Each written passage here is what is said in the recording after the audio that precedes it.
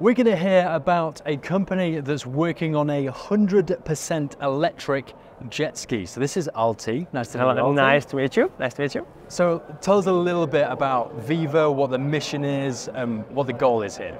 Well, it all started with, of course, a mission where we wanted to make something, you know, green and, and something that we we were kind of horrified with with old traditional ways of, you know, carrying huge containers of, of oil and petrol, and then you know you have leaks and spills everywhere. So we wanted to kind of create something that is modern, is contemporary in that way that uh, uh, it has to be electric and, and of course uh, regarding charging, uh, maintenance, and, and, and, all this. We wanted to make it easy, and so it's very practical. Yeah. So, so there's the side that is says more responsible and uh, a little bit more environment friendly and that kind of thing. Exactly. What about the user experience? So when I think of a jet ski, I think loud, buzzing everywhere, quite quite annoying to many people yeah. in the areas that they end up.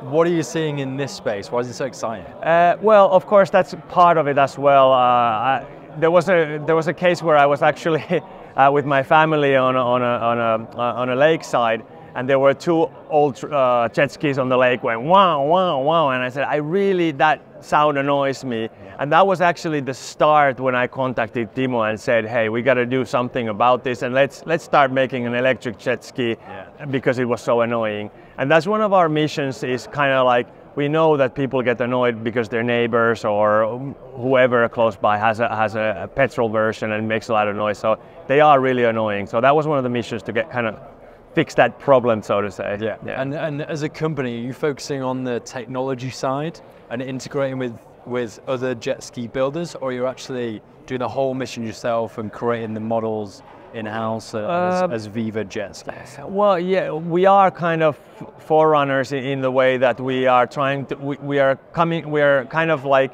noticing uh, issues and, and challenges that come with electricity. Yeah. And so there aren't that many partners that we can team up with. We have to find solutions ourselves. Right, yeah. So in that way, we are, we're total forerunners.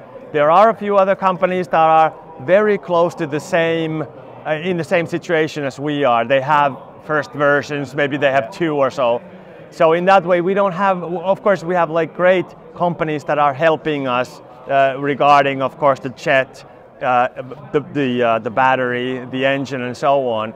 But uh, of course, I, I mean, I want to be honest, in the next two years, we are going to be facing many, many challenges that it's, it's our job to kind of fix and, and find the technical solutions yeah. to, to, to, to, avoid problems. Yeah, yeah. for sure. And um, what kind of market are you seeing demand from? Is it mm. more the super yacht side, the large yacht side, or just people wanting individual jet skis to, to uh, well we, we started off with this kind of a thing that probably uh, people who are re like rental companies that they rent right, out okay. that, that would yeah. be our first mission but it has uh, as, as time has passed let's say like the last five months have been crazy in that way that we see now that we have we're going to have this kind of a a pro version which is aimed at, at police, uh, rescue uh, personnel, right, the, the, army. Side, exactly. Right, yeah, yeah. So that's going to be a, uh, one way that we're going to. Right, but on, on, the other side, we also have, of course, private yacht owners, you know, who have big ships that they want to have one of these on the, the back deck. they're cool, they're a good toy. Exactly. And I, like I said in, in Düsseldorf already, where I was with the miniature version, I said,